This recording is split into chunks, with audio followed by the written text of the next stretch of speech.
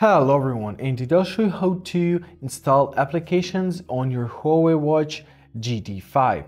So in order to do that, open up your Huawei Health application right here, scroll down to your devices section, choose your Huawei Watch, and now scroll down to the app gallery right here. So here you'll get a full list of the available applications to install on your watch, all right? Uh, so first of all, uh, make sure that you've entered your Huawei ID and if you don't have these features, try reinstalling the Huawei app and choosing a different region like United Kingdom as I did. So here in your app gallery, you have the full variety of apps. Choose the one you like. For example, let's choose calculator. On calc, press install. And now it's getting transferred right to your watch.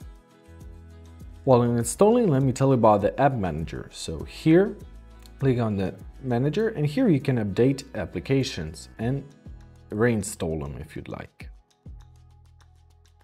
Alright, now we've got our calculator installed, so let's check it in our watch. Let's grab our watch, press the crown button, press it once again.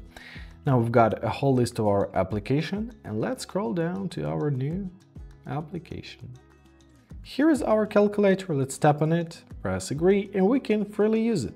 And that's it. I hope this video was helpful. Thank you so much for watching and have a great day.